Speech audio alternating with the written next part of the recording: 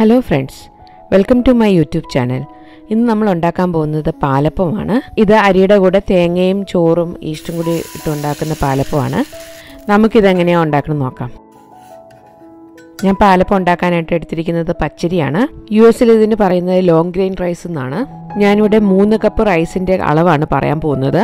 മൂന്ന് cup rice കൊണ്ട് ഏകദേശം ഇരുപത് അപ്പത്തിനുള്ള മാവുണ്ടാവും. മൂന്ന് കപ്പ് റൈസ് ഒരു നാലഞ്ച് പ്രാവശ്യം നന്നായിട്ട് കഴുകി ഒരു മൂന്ന് മണിക്കൂർ കുതിരാൻ വെക്കണം. പാലപ്പം ഉണ്ടാക്കാനായിട്ട് ഇഡ്ഡലി റൈസ് എടുക്കാതിരിക്കുന്നതാണ് നല്ലത്. അത് കുറച്ചും കൂടി കട്ടിയുള്ള റൈസാണ് ലോങ് ഗ്രേഡ് റൈസ് അരച്ച് കിട്ടാനും വളരെ ഈസിയാണ് പെട്ടെന്ന് അരഞ്ഞ് കിട്ടും. ഇത് നാല് മണിക്കൂർ കൂടുതൽ കുതിർത്ത് വെക്കരുത്. അത് കല്ലിച്ചു പോകും. ഇനി നമുക്ക് ഈസ്റ്റ് ചെറുതായിട്ടൊന്ന് കലക്കി വെക്കാം. ഇതിനായിട്ട് ഞാനൊരു കാൽ കപ്പ് അല്ലെങ്കിൽ അതിൽ മൂന്നിലൊന്ന് കപ്പ് പാൽ ചെറുതായിട്ടൊന്ന് ചൂടാക്കണം. ഇതിലേക്ക് രണ്ട് ടേബിൾ സ്പൂൺ ഷുഗറും കാൽ ടീസ്പൂൺ ഈസ്റ്റും കൂടി ചേർത്ത് നന്നായിട്ട് മിക്സ് ചെയ്ത് വെക്കാം. ഷുഗർ മസ്റ്റായിട്ട് ചേർക്കണം. അളവ് വേണമെങ്കിൽ കുറയ്ക്കാം.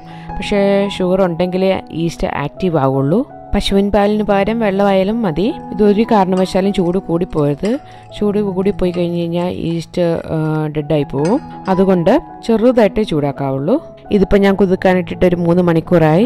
ഇനി നമുക്കിത് അരച്ചെടുക്കാം. മൂന്ന് കപ്പ് റൈസ് കുതിർത്ത് കഴിയുമ്പോൾ ഏകദേശം ഒരു നാലര കപ്പോളം വരും.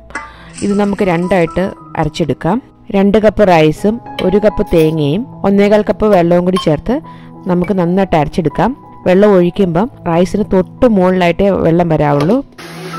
ഇത് നന്നായിട്ട് അരച്ചെടുക്കണം. സാധാരണ പച്ചരി ആയതുകൊണ്ട് പെട്ടെന്ന് അരിഞ്ഞു കിട്ടും. ബാക്കിയുള്ള റൈസ് ഒരു കപ്പ് തേങ്ങയും ഒന്നേകാൽ കപ്പ് വെള്ളവും കൂടി ഒഴിച്ച് നന്നായിട്ട് അരച്ചെടുക്കാം. നന്നായിട്ട് അരച്ച മാവ് ഒരു പകുതി മാറ്റിയിട്ട് ബാക്കി പകുതിയിലേക്ക് ഒരു അരക്കപ്പ് ചോറ് ചേർത്ത് നന്നായിട്ട് അരച്ചെടുക്കാം. ഇനി ഇതിലേക്ക് നമ്മൾ കലക്കി വെച്ചിരിക്കുന്ന ഈസ്റ്റും കൂടി ചേർത്ത് ഒന്നും കൂടി ഒന്ന് അടിച്ചെടുക്കാം. മിക്സി ഭയങ്കരമായിട്ട് ചൂടായിട്ടാണ് ഇരിക്കുന്നതെങ്കിൽ അതിലേക്ക് നമ്മൾ ഈസ്റ്റ് ചേർക്കരുത്. ഈസ്റ്റ് സെപ്പറേറ്റ് ആയിട്ട് അവസാനം മാവിലോട്ട് ചേർത്താലും മതി. ഉപ്പ് എപ്പോഴും എട്ട് മണിക്കൂർ ഹെർമെന്റ് ചെയ്ത് കഴിഞ്ഞിട്ട് ചേർക്കുന്നതാണ് നല്ലത്. ഉപ്പ് ആദ്യമേ ചേർത്ത് കഴിഞ്ഞ് കഴിഞ്ഞാൽ ഈസ്റ്റ് ആക്റ്റീവ് ആകാൻ ഒത്തിരി സമയമെടുക്കും. അതുകൊണ്ട് ഉപ്പ് ഏറ്റവും ലാസ്റ്റ് ചേർക്കുന്നതാണ് നല്ലത്.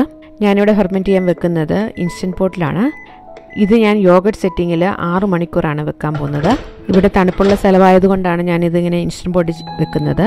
ഇപ്പം നാട്ടിലൊക്കെ ആണെങ്കിൽ പുറത്ത് എയ്റ്റ് അവേഴ്സ് വെച്ചാൽ മതി.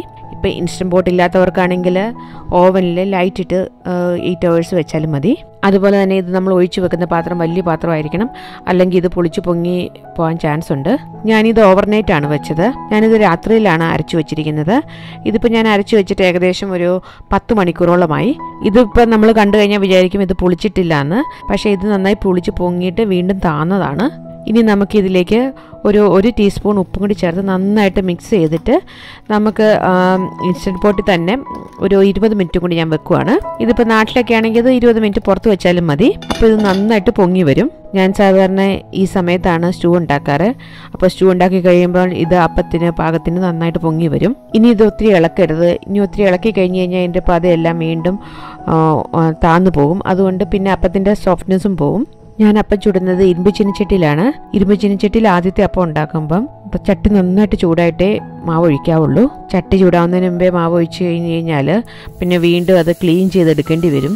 ആദ്യത്തെ അപ്പം ചുടുന്നതിന് മുമ്പ് ഒരു ഒരു ചെറിയ കഷ്ണം ഉപ്പുള്ള ബട്ടർ ഞാൻ ചട്ടിയിലിട്ടിട്ട് നന്നായിട്ട് ടിഷ്യൂ പേപ്പർ അതായത് കിച്ചൺ ടിഷ്യൂ കൊണ്ടോ ചെറിയ തുണി കൊണ്ടോ തുടച്ചെടുക്കുക എന്നുള്ളതാണ്.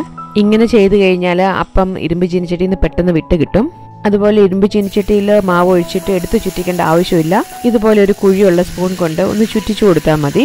ഇനി നമുക്ക് ഇത് അടച്ചു വെക്കാം. അല്ലെങ്കിൽ ഇതിന്റെ നടുവശം വേവത്തില്ല. ഇനി ഇത് വെന്തോന്ന് അറിയണമെങ്കിൽ ഒരു സ്പൂൺ വെച്ച് ചെറുതായിട്ടൊന്ന് നടുക്കൊന്ന് കുത്തി നോക്കിയാൽ മതി. അപ്പോൾ അവത്തിൽ മാവ് വരുവാണെങ്കിൽ അത് വെന്തില്ലെന്നുള്ളതാണ്. ഇനി ബാക്കിയുള്ള അപ്പം ഉണ്ടാക്കുമ്പം നേരത്തെ ബട്ടർ തൂത്ത് ആ കിച്ചൺ ടിഷ്യൂ കൊണ്ട് തന്നെ തൂത്താൽ മതി. അല്ലാതെ ഇനി എക്സ്ട്രാ ആയിട്ട് ബട്ടർ ചേർക്കേണ്ട ആവശ്യമില്ല. ഇരുമ്പ് ചീനിച്ചട്ടിയിൽ അപ്പം ഉണ്ടാക്കുമ്പോൾ എപ്പോഴും ടെമ്പറേച്ചർ മീഡിയം ലോ ആയിരിക്കണം. അല്ലെങ്കിൽ അപ്പത്തിന്റെ നടുവശമൊക്കെ വേവുന്നതിന് മുമ്പേ സൈഡൊക്കെ കരിഞ്ഞു പോവും. ഇവിടെ പിള്ളേരുടെ ഫേവറേറ്റ് ആണ് അപ്പവും സ്റ്റൂവും. ഇന്നിവിടെ കഴിക്കാൻ റെഡിയായി നിൽക്കുന്നത് ഇഷയാണ് ഇഷോ എന്താ പറയണം നോക്കാം.